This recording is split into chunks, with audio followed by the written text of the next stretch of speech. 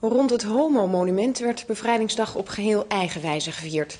Voormalig keukenprinses Vera Springveer vertolkte oude nummers van Johnny Jordaan...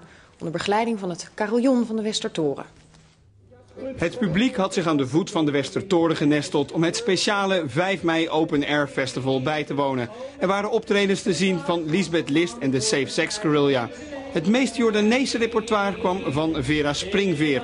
Onder begeleiding van het carillon van de Westertoren zong zij liedjes van Johnny Jordaan. Johnny, zing een liedje voor mij alleen. Oh, Johnny. Het carillon was helaas niet te horen, maar toch waren Vera en het publiek na afloop tevreden.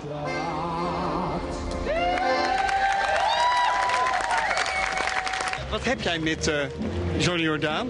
Ja, met Johnny Jordaan, ik hou ontzettend van, ja, toch wel van een soort volksmuziek. En het vind ik altijd wel heel gezellig. En heb een lekkere stem, zo'n lekkere valse Jordaanstik.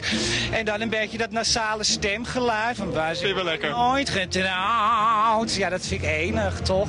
Ik wist eigenlijk niet dat het een Johnny, Johnny Jordaan repertoire was. Het gaat meer om Vera dan om de muziek. Het gaat meer om Vera. Ik heb er gewoon bloemen gegeven. Ik denk, die meid moet bloemen gewoon hebben. Maar het is zo'n tam zooitje hier. Mevrouw, komt u uit deze buurt? Ja, ik ben hier uit de Nees.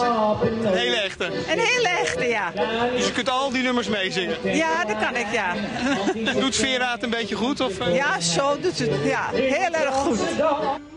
En om de aanhang te versterken had Vera voor de zekerheid haar familie meegenomen. is in het leven heel wat Vera is uw kleinzoon. Jij vindt het wel leuk zo, eh dat optreden? hoor. Ja, Trots. ja, inderdaad. Of je trots bent. Ja, inderdaad. AT5, keihard de lekkerste!